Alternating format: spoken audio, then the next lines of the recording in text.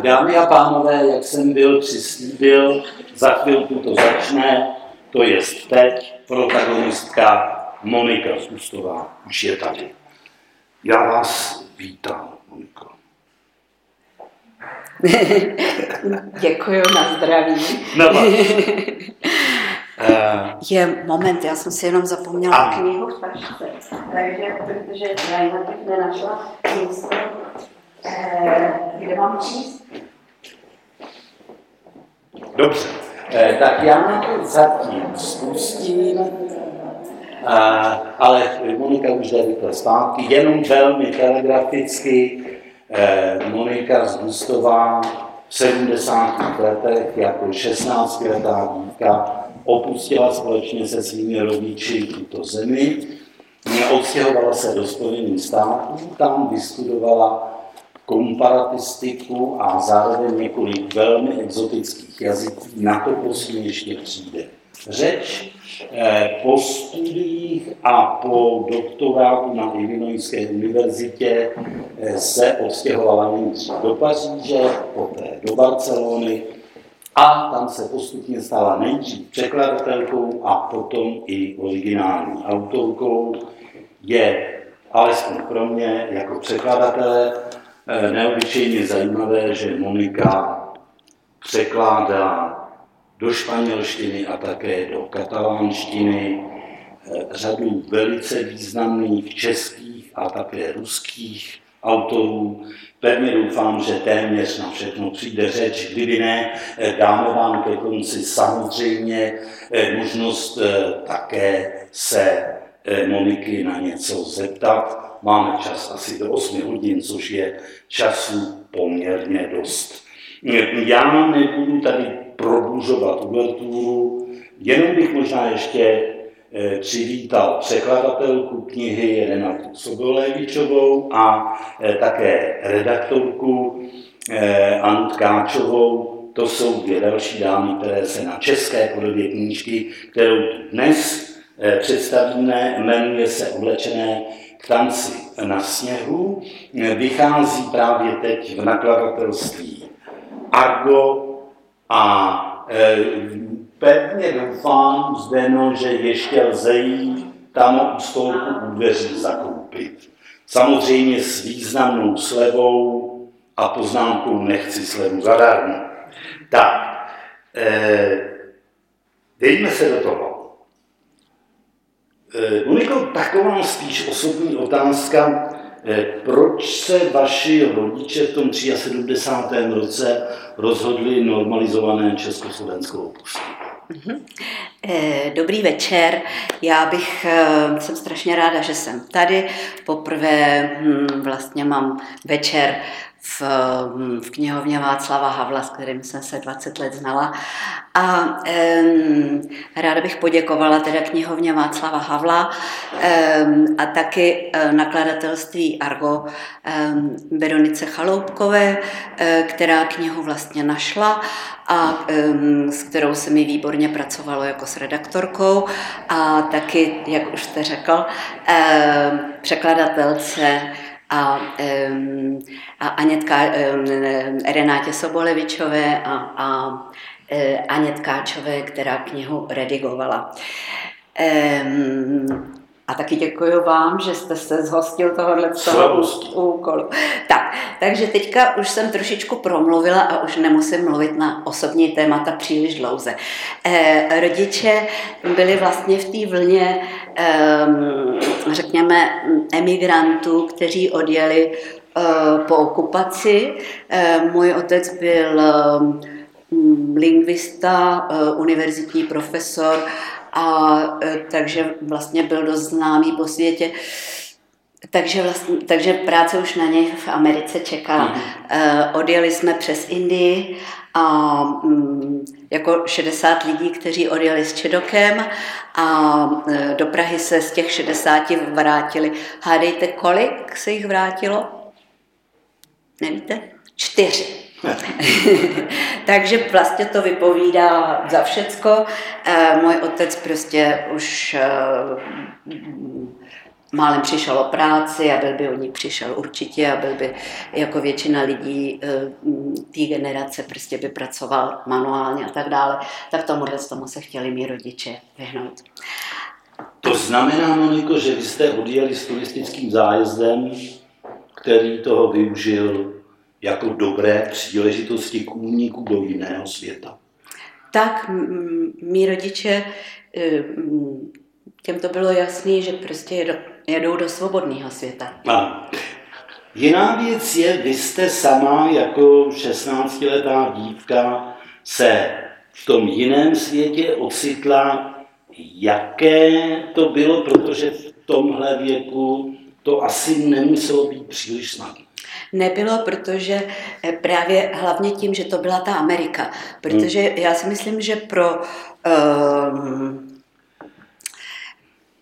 prostě pro uprchlíky odsáď, kteří, byli, kteří jeli někam do evropských zemí, to bylo daleko lehčí. Já jsem o tom slyšela od svých známých, ale ta Amerika to je prostě daleko těžší zem, země, protože jsou tam úplně jiný zvyky. Hlavně to, že, eh, že se od člověka tak nějak jako vyžaduje, aby byl stejný jako ostatní. To znamená, že mně i bráchovi se stalo to, že když jsme tam začali chodit na střední školu ehm, v té první době, tak ehm, se nám spolužáci v nej, tak jako v nejlepším případě se nám vysmívali kvůli tomu, že jsme neuměli anglicky, anebo že jsme mluvili anglicky strašně špatně, že jo. A e, takhle, e, mýho bráchu vyloženě spolužáci byli. Hmm. E, proto proto on se asi naučil úplně perfektně, teda anglicky bez přízvuku. E, zatímco já e, trochu přízvuk mám.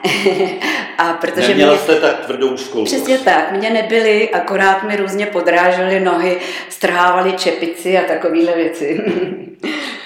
Eh, Moniko, vy jste studovala komparatistiku, indologii, hinštinu,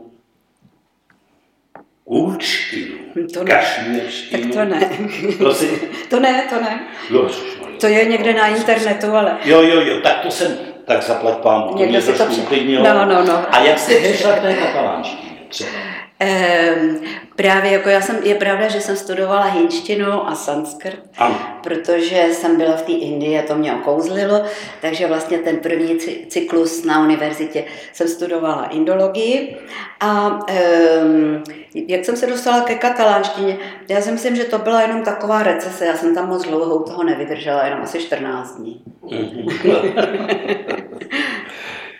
Dobře, Jaké to je, vy jste říkala, jak bylo obtížné pro vás i pro vašeho bratra mm, zvykat si v těch Spojených státech v úplně jiné eh, americké kultuře. Eh, překročme ta americká léta a spíš se tedy podívejme v tuhle chvíli na to, eh, jaký byl ten návrat do starého světa. Já musím říct, že jenom bych ještě ráda dodala k těm americkým létům, že pro eh, celou rodinu to byla strašně tvrdá zkušenost, hmm. protože někdy je taková jako milná představa, panuje mezi, eh, řekněme, mm, Čechama, že vlastně my, kteří jsme odjeli, takže pro nás bylo všecko lehký a to tak nebylo. Um, ta, hlavně ten první rok byl velice těžký pro celou rodinu. Um, můj otec například, který byl jediný z rodiny, který znal um, anglicky, angličtinu, tak um, najednou si uvědomil, že ta angličtina, jaká se tam mluví, že je úplně jiná, že on nerozumí a nikdo, že nerozumí jemu. Jo? A my jsme se to teda učili, tak jak už jsem vám vyprávěla.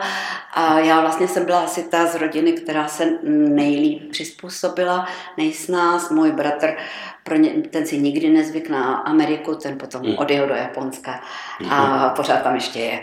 A, a um, potom já jsem vlastně jsem se dostala do Barcelony tak jako, eh, jak se říká, jak slepej k houslím. Um, protože jsem pracovně jela na Majorku a strávila jsem asi dva dny v Barceloně strašně mě to okouzlilo, takový město eh, mediterální u moře, eh, velkoměsto obrovský, kde si lidi na ulici povídali eh, večer v 10, v 11, na hlavní ulici si lidi povídali o politice a tak dále, to jsem v Americe nezažila. Na každém nároží tam někdo hrál na kytaru, na housle, na basu. Ehm, prostě takovýhle zvláštní věci pro mě teda eh, všude samý zahrádky, mm, restaurací a, a kaváren. Takže to mě naprosto okouzlilo, tak, taky ta gotika, to mi trochu připomínalo Prahu, eh, ta černá gotika, eh, ty eh, barcelonský gotický čtvrti, to mi připomínalo Prahu a prostě jsem se tam chtěla vrátit, takže jsem odjela do Ameriky, tam, abych tam vystudovala, dostudovala a potom jsem to teda chtěla zkusit, eh, jestli budu mít štěstí v té Barceloně. No a mm, bylo to, taky to bylo jako trošku tvrdý v tom, že jsem neměla nic. Já jsem opravdu, eh, když si člověk řekne začínat od nuly, tak já jsem začínala od nuly. Neměla jsem ani peníze a když jsem napsala rodičům, aby mi něco poslali, tak mi řekli, když, když chceš peníze, tak se vrať domů. Ale no. jako peníze ti posílat nebudem. Udělali dobře, protože to byla dobrá průprava pro mě. A ne, ne, neznala jsem ani jazyk, eh, tím méně oba jazyky, které, které, které se tam mluvily. Eh, neměla jsem tam přátele, nic. Ale mm, tak eh, Španělé a Katalánci mají družnou povahu, takže jsem se brzy seznámila, našla jsem si práci na univerzitě a vlastně brzy jsem se do toho, do všeho dostala, do proudu toho města. Uh, učila jsem se obě řeči najednou a bavilo mě to, no a protože jsem věděla, že jako když chci tam, když chci mít nějaký domov, takže musím se naučit obě řeči. Hmm. Eh, protože jinak bych byla jako, jako cizinec, že jo? Takže, jsem se, takže jsem se prostě naučila obě, obě obě řeči. Moniko, jak zhruba vám to dlouho trvalo, než jste oba ty jazyky zvládla? Mm-hmm. To se těžko dá říct vlastně. Já bych mohla říct, že jsem je ještě nezvládla, že jo? protože vlastně um, kdy člověk zvládne jazyk. Um, já jsem se um, no, tak jako jsem mluvila, řekněme tak po roce, jsem mluvila řekněme dost dobře. Mm-hmm. A Potom pak jsem začala překládat a tím se taky člověk naučí hodně právě tím překládáním, že si pořád hledá slovíčka a e, prostě toho nutí, že vlastně v té řeči žije. Že jo. A e, měla jsem přátelé, kteří byli teda Španělé a Katalánci a a to taky mi pomohlo moc, že vlastně jsem byla pořád v tom prostředí. Zatímco v Americe jsem měla spoustu um, přátel z jiných zemí a tím jsem se naučila různé jazyky, jako například rusky. A um, tak jako jsem si tam procvičila všechny možné jazyky. Eh, a vlastně to byla ta moje nejzákladnější univerzita. Ehm, ty studia v té Americe ehm, taky, ale hlavně jako ehm, to soužití tam s lidma. Eh, když jsme chodili prostě s jinýma studentama, se zahraničníma studentama, řekněme večer po večeři na pivo a bavili jsme se různýma jazykama a e, o různých kulturách. Já si to pořád ještě pamatuju, jaký bylo jejich chování a tak dále. No, tak v tom Španělsku tam to bylo naopak, tam jsem se, mm, tam jsem se seznala jenom se Španělama a tím pádem to pro mě bylo eh, jednodušší se naučit ty, ty řeči. Jak jste začínal s tím překládáním? Ano, e, s tím překládáním to bylo tak, že eh, ke mně oslovil jeden nakladatel a chtěl po mně překlad eh, některé knihy, která je mi blízká, z češtiny do katalánštiny. A já jsem se začala vykrucovat. Hm. Jsem říkala, hm, tak jako to přece nejde, aby člověk um, překládal do jiného jazyka než do mateřštiny a to ne, to já dělat nebudu, no ale on jako říkal, no zkus to a tak a pomůžeme ti. Potom máš ta kniha než vyjde, tak, tak opravdu jako budeš pracovat přímo s korektorem. A, takže takhle to nakonec bylo, přemluvil mě, no a já jsem se odhodlala teda k Čapkovi, eh, k povídkám z jedné kapsy a z druhé kapsy, což jako se může zdát na první pohled, že je to lehká proza na překlad, ale jako pro mě to bylo strašlivě zapeklitý a potom, když jsem viděla, jak ten korektor mi tam všecko mění. vůbec ta stavba věty úplně jiná, že jo, než je v češtině. A, a ty slovíčka to by ještě šlo, ale ta stavba věty, to, hmm. to, bylo, to, bylo, to bylo zapeklitý, ale pak si na to nakonec člověk zvykne. A člověk, a dobře, potom teda uh, Seifert dostal Nobelovu cenu, takže mě požádali, abych udělala hm, překlad básně, já, která jsem neznala dost dobře ten jazyk, do kterého jsem překládala.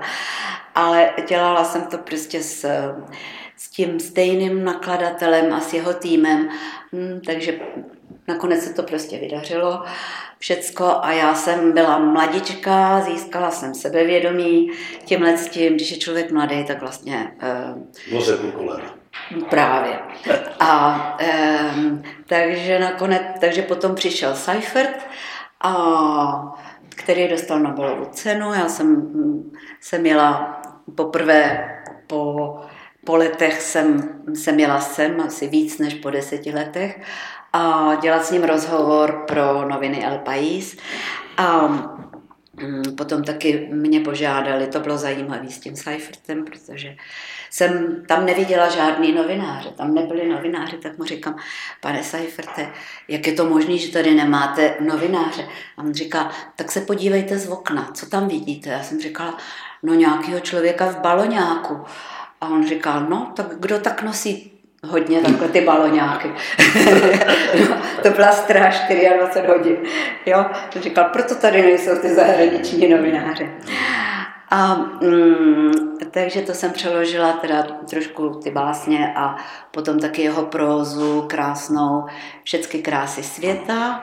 A um, Potom, další, potom přišel Kundera, to byla, že to byla, to začala být velká móda Kundery, takže jsem překládala, já jsem ho překládala do katalánštiny a ten Kundera je dost snadný teda na překlad, je obtížný v tom, že prostě má obsesi s překladatelema, eh, který jim nedůvěřuje, ale um, um, Eh, vidím, že, jsou, že tam jsou noví příchozí, tak můžou si sednout taky dopředu. Tady je místo.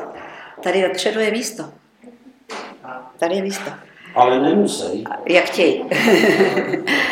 A e, takže hm, po, po, po Seifertovi byl teda Kundera, po Kunderovi přišel Hrabal, e, s kterým hm, kterého jsem se snažila prosadit ve Španělsku a dlouho ho nikdo nechtěl, protože jako jsem moc líbil, ale mysleli, mysleli si, že třeba by prodělali a nakonec, nakonec neprodělali.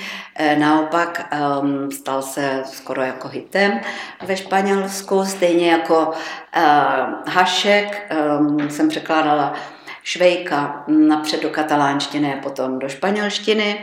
No a potom už přišel převrat a, a nastal Havel, kterýho jsem taky překládala, takže tady mluvíme o Havlu, mluvíme o Havlovi, což je pěkný. Ehm, jsem, překládala, jsem dělala antologii jeho her, který jsem přeložila a potom jsem vlastně překládala, jsem se stala, on měl oficiální překladatele, takže já jsem se stala jeho oficiální překladatelkou eh, do, eh, do španělštiny a do katalánštiny. No, s ním jsem se seznámila takovým jako zajímavým způsobem v Barceloně. To, řeknu, to budou jenom tak dvě minuty, ale je to taková hezká anekdota. Havel přijel do Barcelony a mě teda po dlouhých tak jako průtazích mě přesvědčili, že bych měla mu tlumočit. Jo, já jsem řekla, já nebudu tlumočit prezidentovi republiky, já, která nejsem tlumočnice, já jsem překladatelka, ale ne tlumočnice. To bylo v roce 91. A, ale oni nakonec mě přesvědčili, prostě, že to je jedno, já nevím co a tak dále. Tak jsem musela prostě překládat starostovi Barcelony do češtiny. jako pro Havla.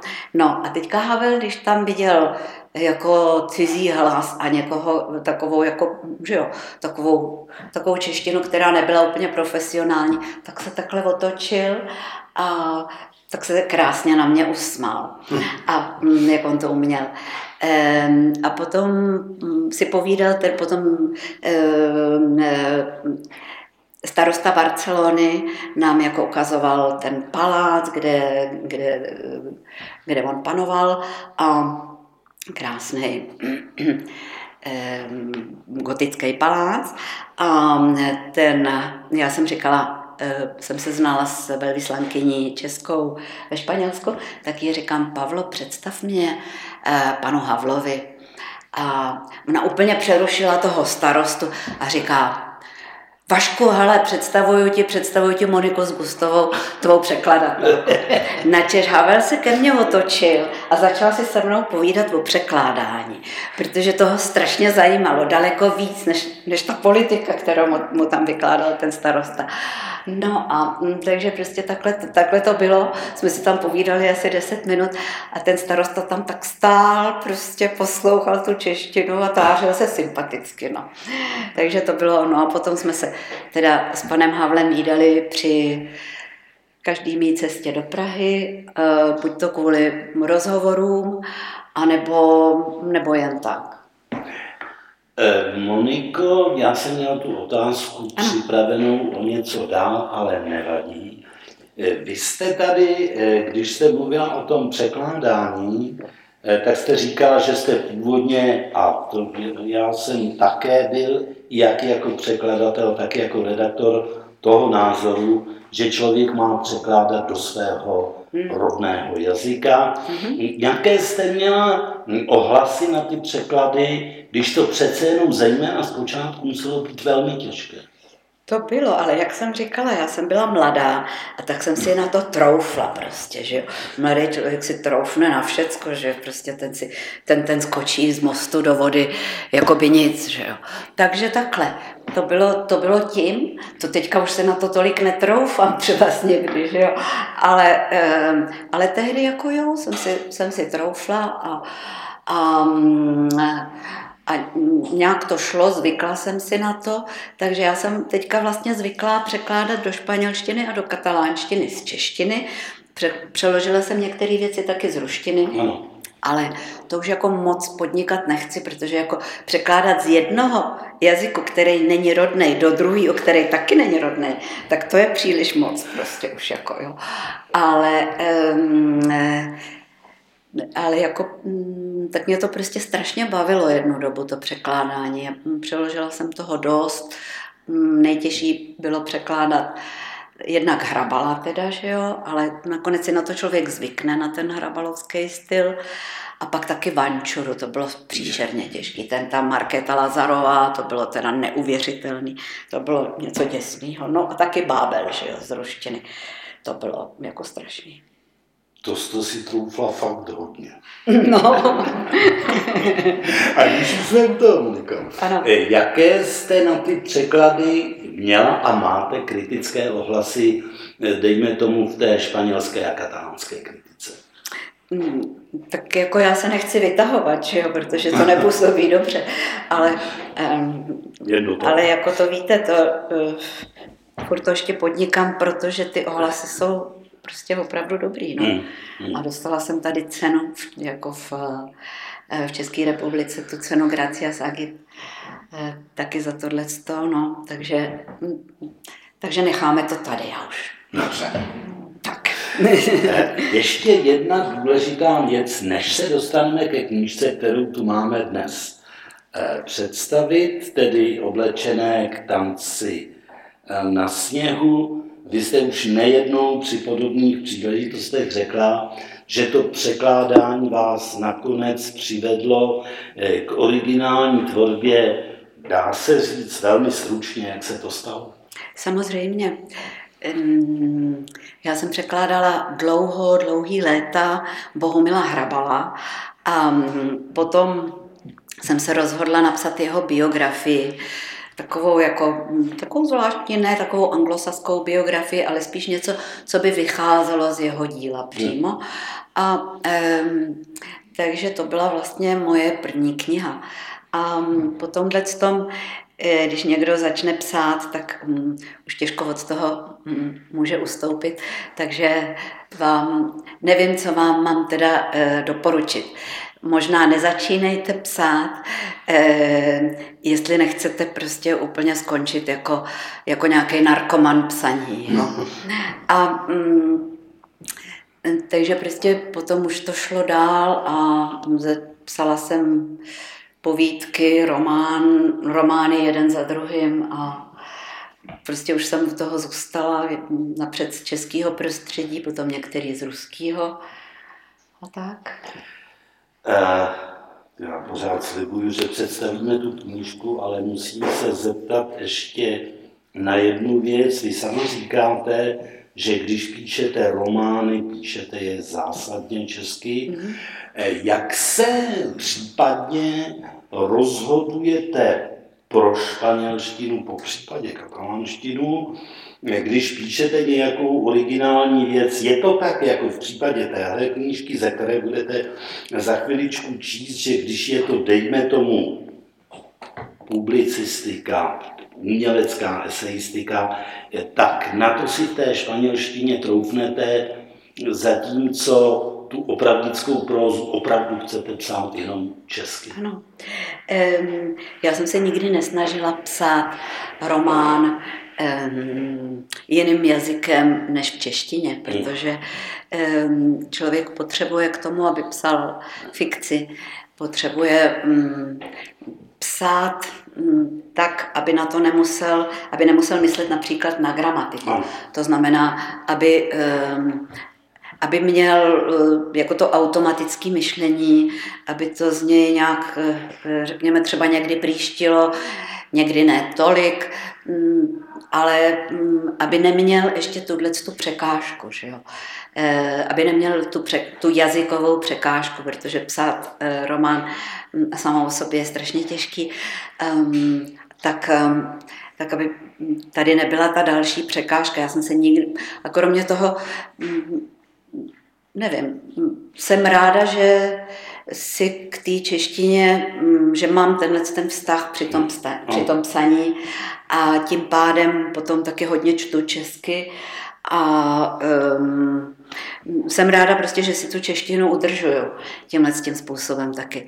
A, um, takže, um, takže vlastně tohle, tahle ta kniha, to byl pokus. Já jsem ji začala psát česky. A um, Potom vlastně jako nakladatel měl trošku uh, spěchal na to, aby ji vydal a potom taky maminka mi pořád říkala, tak kdy tu knihu konečně vydáš, hmm. Protože ty paní chudinky, které byly v Gulagu, oni si to tak strašně zaslouží, to přece je nemůžeš nechat, oni, oni umřou. A ještě, ještě ta kniha nebude vydaná, nebudou vědět, že o nich někdo napsal, tak kdy to prosím tě, proč ti to tak dlouho trvá? Mi říkala, no tak dobře, tak já jsem si říkala, um, že jo, eh, můj nakladatel španělský eh, na to naléhal, abych mu to dala co nejdřív, no, tak jsem si řekla, nebudu teda se zdržovat potom mm, s překládáním, což je další potom kapitola, že jo, to je Eh, překládat sám sebe, to není moc příjemný. A, a tak prostě jsem to zkusila, protože to není román, tohle je to, eh, je to vlastně, mm, já bych, já bych to nazvala, že je to spíš jako novinářská kniha, ale psaná literárním jazykem. A, takže, takže prostě to byl první pokus psát ve španělštině. A pak jsem v té španělštině napsala ještě jednu knihu, malou, a to je, mm, to je hm, portrét, portrét Gali Dali. Moniko, když už jste to nakousla, ano. představme konečně tu knihu, o čem je. Tak to řekněte sám. Eh, je to o hrdinkách, které přežili, eh, které přežili gulag. Eh, pravidla se do toho gulagu dostali jako velmi mladé dívky, jestli se nemýlím. Právě proto měla Monika ještě možnost je potkat a možná, že to je ta pravá chvíle, kdy byste mohla z toho přečíst tu krásku. Dobře.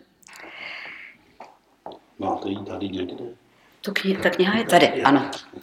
Takže já to zkusím bez brejlí.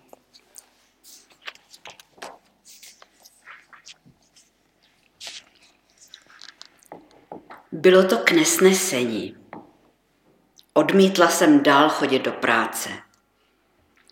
A tak mě dali do trestní cely, téměř bez jídla.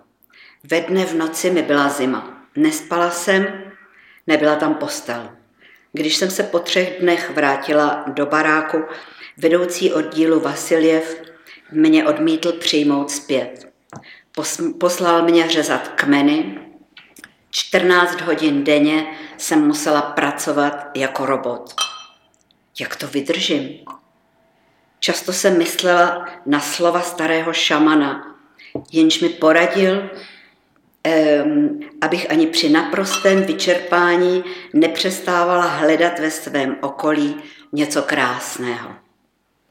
Já jsem však byla natolik zmožená, že jsem na to neměla sílu ani chuť a nedařilo se mi to. Často jsem proto odmítala chodit do práce. Po každém odmítnutí mě uvrhli do trestní cely, kde jsem trpěla hlady a zimou. Zimou jsem nebyla schopná spát. Stala se ze mě dochoďaga. Herka na pokraji smrti, jak se v táborovém argotu říkalo vychrtlým vězňům. Se smrtí jsem se smířila. Lepší smrt, než žít jako otrok. Přišlo léto. Bylo světlo ve dne i v noci a pouze nad ránem se nebesa zbarvovala do nafialovělého tónu a rychle uvolnila cestu slunci, eh, jež se snažilo odlepit od obzoru, kde se drželo kolem 20 hodin. Nikdo nevěděl, kdy byl den a kdy noc. Nespali jsme a padali jsme vyčerpáním jako komáři na konci léta. Každý den se mi zdálo o těch velkých, chlupatých komárech, kteří neštípou tolik jako ti malí, ale jsou odporní. V noci se z nich stávali ochlupení andělé, kteří kroužili kolem mé hlavy. Noci však byly o něco klidnější, neboť Hemis tou dobou nepůsobil tak zhoubně. Poslali mě do jiného tábora, abych vykonávala jinou práci s jinými lidmi. Náš trest spočíval také v tom, že nás donutili, abychom přišli eh, o naše záchytné body. Jakmile jsme si je vytvořili, poslali nás do jiného tábora s novými lidmi, z nichž každý dával průchod zlobě jiným způsobem a měl odlišné návyky. Nezbývalo, než se s tím vyrovnat v klidu, což v takových obtížných podmínkách představovalo nadlidské úsilí. Přidělili mě do cihelny. Spolu se mnou tam pracoval eh, vysoký, statný plavovlasý muž, zjevně starší než já. Představil se mi a políbil mi ruku. Jako bychom nebyli dvě špinavé, zavšivené, vyhladovělé a ospalé trosky v hadrech, které 14 hodin denně vedle sebe tlučou do cihel ale odpočatí, navonění, navonění lidé, kteří se poznali na recepci, ona v koktejlových šatech se sklenkou šampaňského v ruce, on v tmavém obleku a se stříbřitou kravatou. Hajno Eller, Valentína Grigorjevna Ijevleva, těší mě, jmenujete se stejně jako známý estonský skladatel – to jsem já, odpověděl a já nabila dojmu, že se začervenal. Když jsem studovala, hráli jsme vaše skladby, řekla jsem a měla jsem pocit, že jsem se znovu setkala se starým známým z dřívějšího života. Chtěla jsem Hajna obejmout.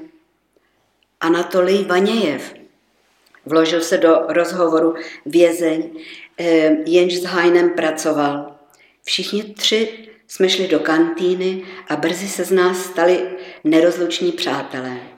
Jednou jsem, jsem jim recitovala několik svých básní, které jsem složila jen tak pro sebe před spaním a během dlouhé chůze na pracoviště, abych, abych nějak zaměstnávala svou mysl.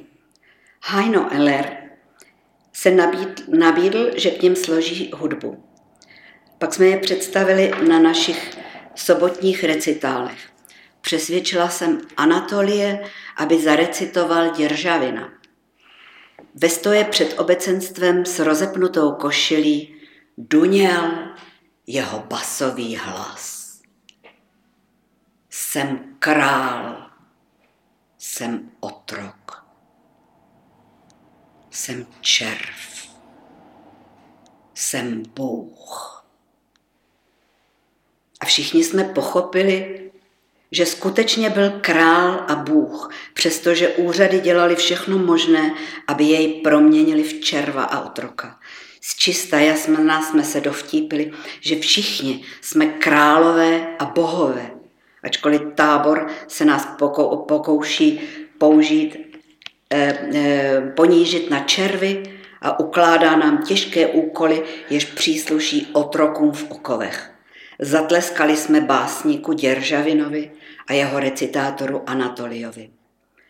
Především jsme však tleskali nám všem a každý sám sobě. Tak takováhle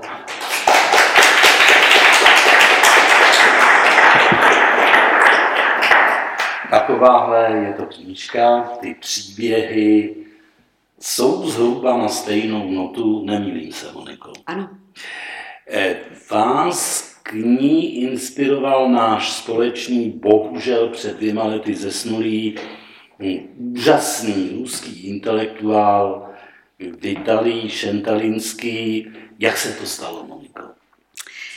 Um, já jsem se s Vitaliem seznámila ve Španělsku, když tam představoval svoje knihy.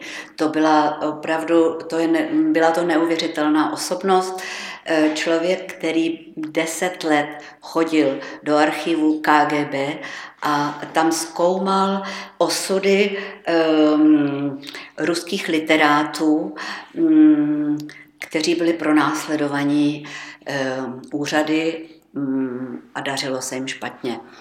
Mm, takže deset let, deset let každý den jako do práce Šentalinský chodil do těch archivů a 8 hodin denně tam pracoval.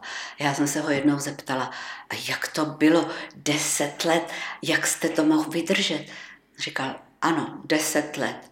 A když prošlo těch deset let, tak jsem prásknul do stolu a řekl, tak a už to nevydržím a už tam nepůjdu ani jeden další den. Hmm. Um, takže tohle to říká hodně.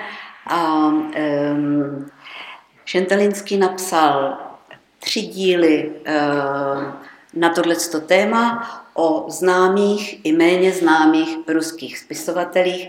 Česky to, myslím, ještě nevyšlo, takže jestli tady máme někoho z nakladatelského světa, tak to moc doporučuju. Potom napsal taky vlastně to, čemu říkal jeden díl, který udělal ze tří dílů, kde jsou, je to takové kompendium těch nejznámějších spisovatelů. A, mm, takže Šentalinský mě pozval do Ruska, kde jsem vlastně byla poprvé v roce, v roce 90 na pozvání eh, Luboše Dobrovského, který tam byl velvyslancem eh, v, v Moskvě. No, to muselo být o něco později, zřejmě, ne? Protože eh, poprvé jsem Luboš tam byl až od poloviny 90. Pardon, ano, to Máte pravdu. Ano, ano, ano, přesně tak. To jsem se spletla. Bylo to v roce 2000. Ano, bylo to v roce ano. 99 nebo 2000. Ano. Tak to bylo, ano. To eh, děkuji za, za, za opravu. A e, takže to jsem byla poprvé v Rusku na pozvání teda toho Luboše a e, s kterým jsme se zpřátelili s ním i s jeho ženou a e, potom mm, jako je zvláštní, že právě když jsem přijela potom e, na pozvání Šentalinského do Moskvy, tak Luboš tam taky byl a oba jsme byli ubytovaní v Českém domě, ano. což je takový jakoby hotel pro Čechy a e, Luboš mi dal spoustu dobrých rad, co se, co se týče toho gulagu.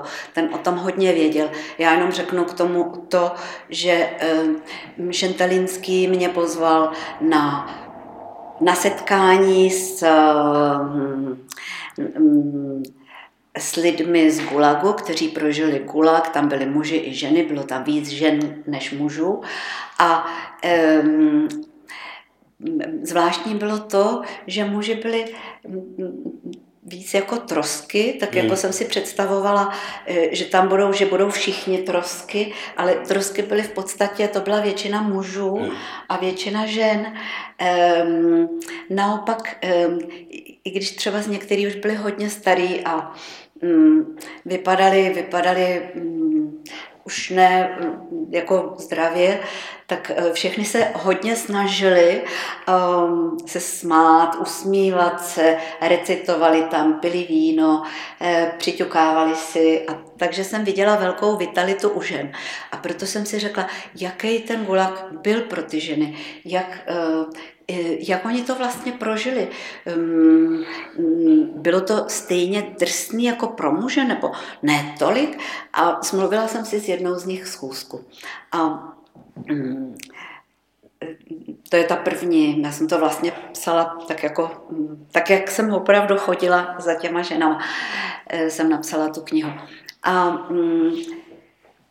Potom, jak jsem je teda postupně, jsem s nima dělala ty rozhovory, tak jsem si uvědomila, že pro ženy to bylo eh, nejenom, že ty podmínky byly stejně drsné jako pro muže, ale eh, že vlastně to bylo eh, v některém smyslu horší, hmm. protože ženy byly oběti mužské zvůle.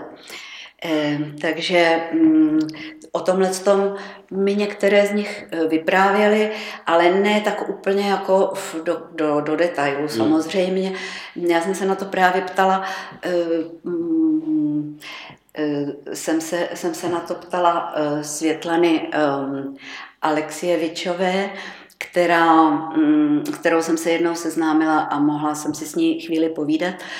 A se mi říkala, jako proč mi o tom nemluví a co mám dělat teda v té knize. A ona mi říkala, e, víte co, to je taková generace, která o těchto těch věcech nemůže mluvit. To je prostě pro ně tabu a oni se za to stydí. A, e, takže mm, vy to tam dejte do té knihy takovým způsobem, aby čtenář pochopil, že je tam určitá mezera. A, takže takhle jsem se o to pokusila a myslím si, že teda většina čtenářů e, na tohle to dovedla reagovat. E, no a v tom, mm, takže takhle ta kniha vznikla. Já jsem v té době jsem se nesnažila příliš, příliš moc o tom gulagu číst, e, jako teoretických knih, protože jsem chtěla napsat něco spontánního, řekněme něco, co by pramenilo z mý neznalosti, protože jsem uh, chtěla, aby čtenář, který možná taky je neznali, uh, toho prostředí, tak abych ho mohla vzít jakoby za roku v této knize a jako ho vyprovodit ze, k těm všem ženám, aby, uh, aby se mnou jel tím metrem ze středu Moskvy, metrem, potom nějakým trolejbusem nebo autobusem a potom ještě pěšky, aby, aby se se mnou procházel těma um, periferníma čtvrtěma, um, š, bloudili tam a hledali ty domy, um, veš, vcházeli do těch domů, který páchli někdy, uh, dokonce někdy tam byly i krysy, potom um, um, buď to po schodech, anebo um, nebo výtahem. Strašným někdy, který si člověk říká, spadne to se mnou nebo ne, eh, jeli nahoru a tam najednou vešli do takového ráje plného knih a kultury a kultivovanosti těch žen, který se vrátili z toho gulagu. Takže takhle jsem chtěla, aby, tohle, aby to zapůsobilo taky na lidi, aby se mnou prožili ten zážitek eh, toho hledání a toho nalezení a, eh, a potom taky toho eh, tu radost z té konverzace s těma ženama. Moniko, napadá mě jedna věc. Vy jste četla některé Světlaniny knížky, protože oni tady vlastně dost vycházeli a Světlana sama od 70. let, od těch svých novinářských začátků, eh, vlastně tvořila přesně tímhle způsobem. Ona sbírala eh, materiály přesně takhle, jako jste to dělala v tomhle případě. To je, byla to pro vás nějaká inspirace, nebo jste ji ani Ne, vůbec. Vůbec. To, nebyla, to pro mě nebyla inspirace, protože, abych se přiznala, tak já jsem ji četla až potom. um, takže já jsem vlastně mm, k té světlaně jsem teda uh, došla až po téhle knize a um, jsem ráda, že vlastně ta kniha vznikla jako něco spontánního, že jsem, uh, že jsem nebyla naočkovaná nějakým jiným vlivem. Ano, ano, ano. A když už jsme u té Světlany, ona je teď znovu slavná, nejenom jako nositelka mm. Nobelovy ceny mm-hmm. za literaturu z roku 15, ale jako jedna z tváří té současné běloruské opozice. Eh, co tomu říkáte, že žena v takhle důstojném věku se vlastně pustí do takovéhle práce?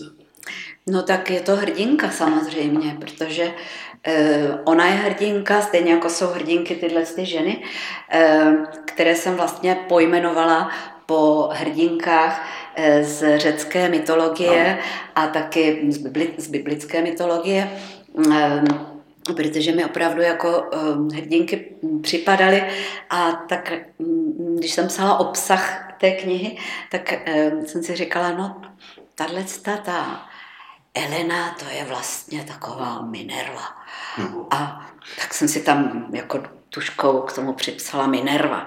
A potom tahle ta je zase jako Odysseus. A takhle prostě eh, najednou jsem si řekla, no jo, to je pravda, ale teď oni vlastně jsou hrdinky, to jsou hrdinky, které eh, by si nezadali eh, s těma eh, slavnýma řeckýma hrdinkama.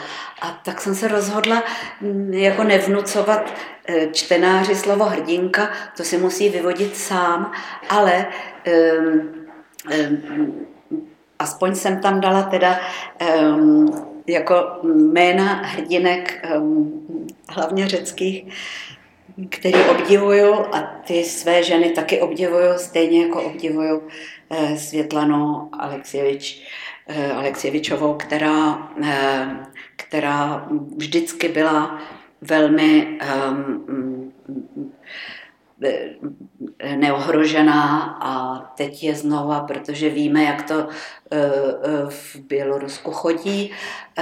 Tam jsou stejné podmínky teďka v těch vězeních, jako ty, které popisují v této knize. Já, když jsem četla ty popisy, co se tam děje v těch vězeních, tak jsem si řekla, to je přesně to, co se dělo za Stalina. Poslední otázka, než dáme možnost publiku se vás také na něco zeptat. Moniko, na čem děláte teď? Eh, teď píšu, teď píšu román o, ehm, nebo vlastně dva romány ehm, o vlastně o něčem, o čem jsem nikdy tak moc nepsala. Eh, je to o rodině. Je to vlastně dcera a matka. Je to, ten první román je o matce a dceři které si jakoby dost dobře nerozumí. A ten druhý bude o matce, která, eh, která jakoby vypovídá o svém životě a je vidět, že vlastně ta dcera ji nikdy neporozuměla. Takže teď píšu jako opravdu takový romány, které nejsou podchycený žádnou historickou osobou, jako když jsem psala třeba, já nevím, třeba o Stalinově dceři nebo tak. No, no. Tak, dámy a pánové, máte šanci ještě asi 10 minut po případě klást své otázky našemu dnešním hostovi, spisovatelce a překladatelce Monice Zgustové. Prosím.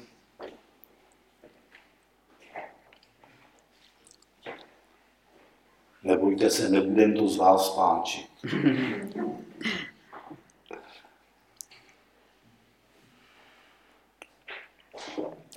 Tak ehm, možná, že vy máte ještě nějakou otázku. Nebude to páčit, ano. Já mám otázku ano. a ta se bude týkat přesně toho, co jste teď říkala. Mm, jak jste tady, Moniko, často, protože eh, ty romány, které píšete teď, jsou z českého prostředí? jsou vlastně z prostředí, který já jsem tak trochu prožila. Jsou to romány z prostředí Prahy a potom taky z prostředí exilu.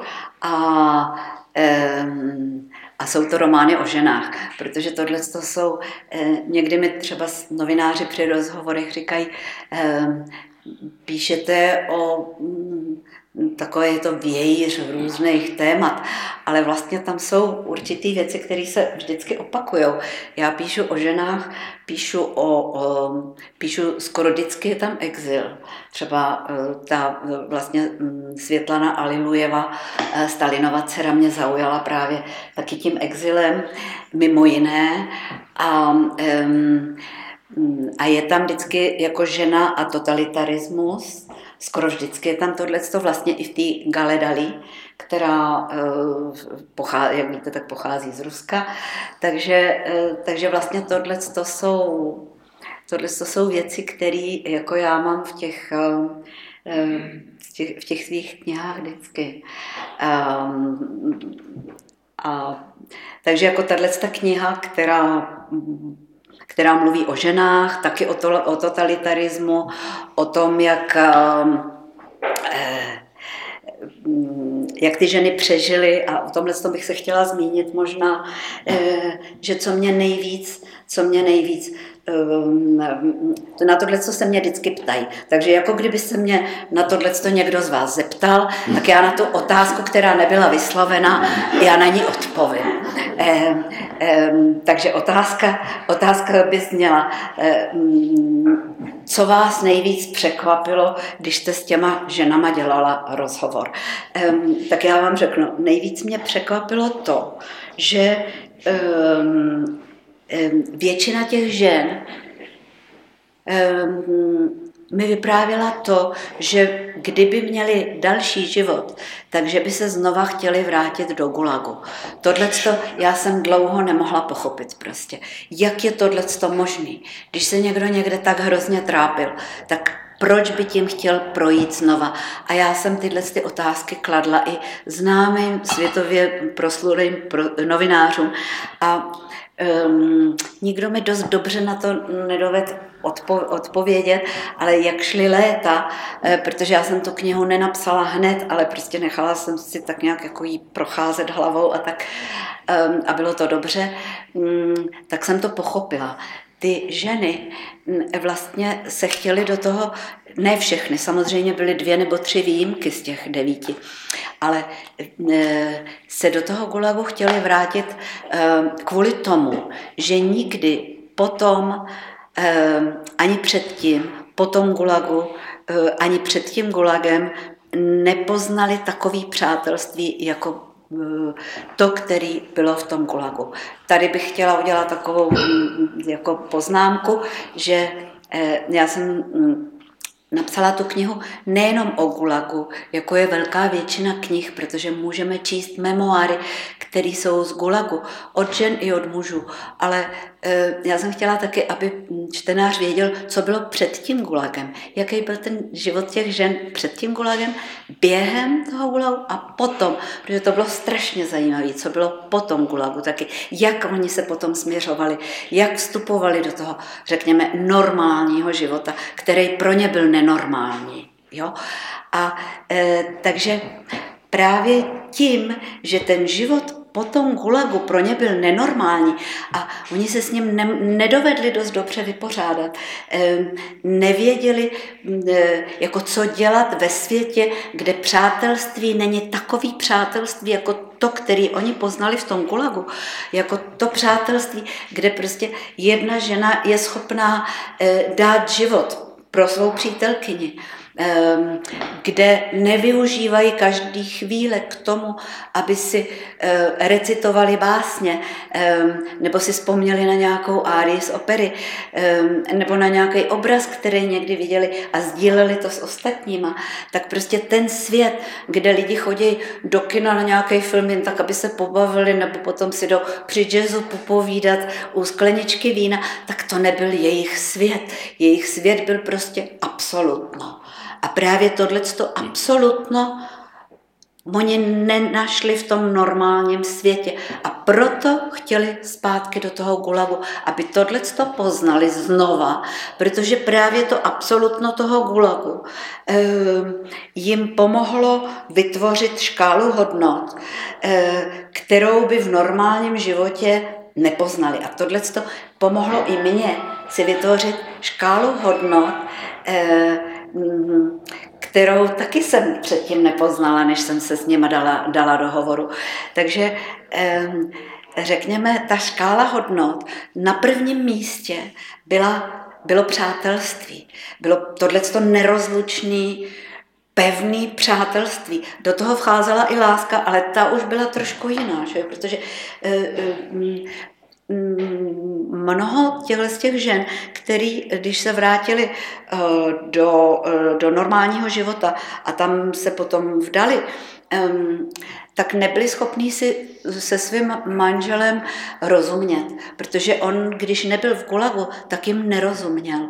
A právě o tomhle tom vypovídá ta poslední žena, což byla, což byla um, dcera eh, poslední lásky Borise Pasternaka a eh, ta právě mi řekla, že nejdůležitější ze všeho je porozumění. Nejdůležitější ze všeho v životě je porozumění. Ta měla muže, který byl v Gulagu, ale ten Gulag ho poznamenal tak, že, to, že s ním nebylo lehký soužití. Ona řekla, přesto tohle to bylo eh, lepší než někdo, kdo mi nerozuměl. A dobře, tak abych se vrátila k té škále hodnot. Um, nezapomněla jsem na to škálu hodnot, a přestože piju. A, um, na druhém místě, na druhém místě um, potom přátelství um, byla kultura. Ta kultura jim pomohla vlastně přežít, to přátelství i ta kultura. Samozřejmě já tady mluvím o ženách, které byly politické vězenkyně to nebyly um, jako normální vězenkyně, které by byly třeba, které by tam byly za krádež nebo za vraždu nebo tak. Um, ale ty, jako je to zvláštní, ale ty umírali dřív než ty politické vězenkyně, které měly v sobě um, vědomí, že nic nespáchali špatného a že tam jsou nespravedlivě. Takže ta nespravedlnost v nich probouzela tu sílu přežít. A e, takže jako jsem řekla, že na druhém místě té škály hodnot byla kultura, která jim opravdu pomohla přežít. E, knihy tam třeba nebyly skoro vůbec, jenom několik málo žen se setkalo s knihou e, během těch mnoha let, který prožili v Gulagu. A třeba jedna mi vyprávěla, že, byla v nemocnici, protože e, si sama chtěla přivodit smrt. A tak prostě v té nemocnici tam byl, tam měli, měli tam, hm, co to bylo? Hm, Tolstoj. A hm, na tu knihu, pamatuje si předkladatelka možná, co to bylo? Vojná mír, vojná mír, ano. Děkuji. Vojná mír. Eh, takže tu vojnu a mír ona přečetla čtyřikrát nebo pětkrát. Ehm, znova a znova, protože to byla jediná kniha, která tam byla a ona se tím chtěla úplně tak jakoby nasytit, um, protože to bylo důležitější než jídlo. Mm, takže oni, když neměli třeba přístup k té kultuře přímo, tak, tak jak jsem to přečetla v tom, eh, v tom úryvku, mm, někdo si pamatoval třeba nějakou báseň, nebo někdo složil nějakou báseň, potom si to recitovali eh, mezi sebou a to jim pomáhalo, že vlastně odpoutali tu mysl od těch hrůz, protože to byla naprostá hrůza, tam byla špína, tam byl křik, tam byla nenávist, to prostě, tam prostě byly všechny špatné vlastnosti, to nejhorší nejhorší, co si dovedete představit. Jo. A mm, takže, takže prostě od tohohle z toho odpoutali tu mysl. Takže to bylo na druhém místě té eh, škály hodnot a na třetím místě bylo potom, eh, když se, jako i v tom gulagu, i potom, když se vrátili do normálního života, to bylo pomáhat lidem, udělat něco pro společnost. Eh, takže všechny tyhle ty ženy se snažily potom jako pomáhat a to je strašně potom naplňovalo to, jako měli tu naprostou potřebu něco udělat pro, pro život těch, těch druhých. K tomu bych už nic nedodával. Monika Zgustová. Jsme